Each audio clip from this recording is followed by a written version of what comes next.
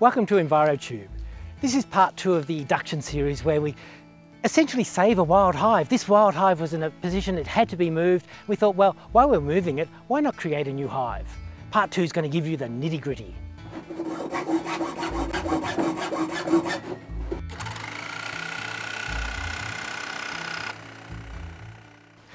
Eduction is how you create a, a new hive, from, especially from a wild hive.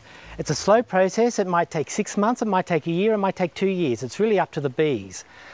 The whole point of eduction is that you put an empty hive in a position where the bees have to fly through it. We're going to show you the sort of steps you have to take to make sure this is successful. You have to have perspex so you can actually look in and see what's going on. You also have to have a hole in your connecting pipe. That's really important.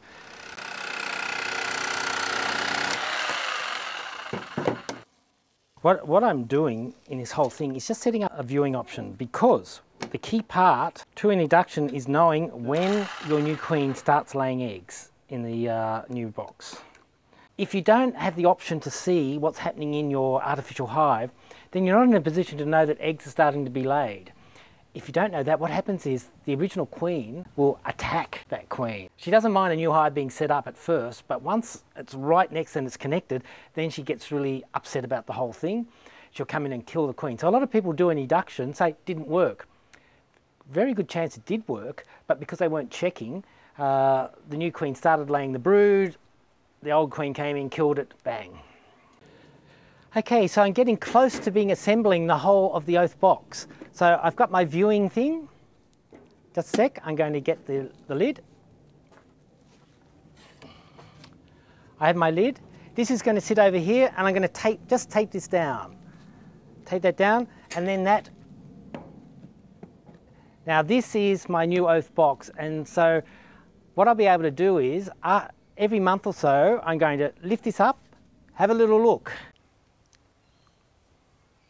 Is anything happening in there? Nothing's happening, I just put it back. One of the things that makes an eduction work really well, but it's hard for uh, everyone to do, is to actually have a hive that used to be used by uh, Tetragonula. So if you have a look at this, you can actually see this is an old hive, which means that it's got all the old resins and the smells. The bees are, are going to be instantly happy with this space. Makes it much more likely that they're going to colonize. To make sure light doesn't get in, because the bees don't like the light, I've sealed it with black tape.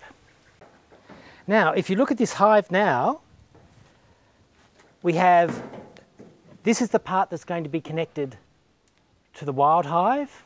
So the bees fly in through here and out through there. Basically, it's like you're forcing them to fly through it. They have no choice. If they're going to leave their wild hive, they must fly through this hive. Thanks for watching EnviroTube.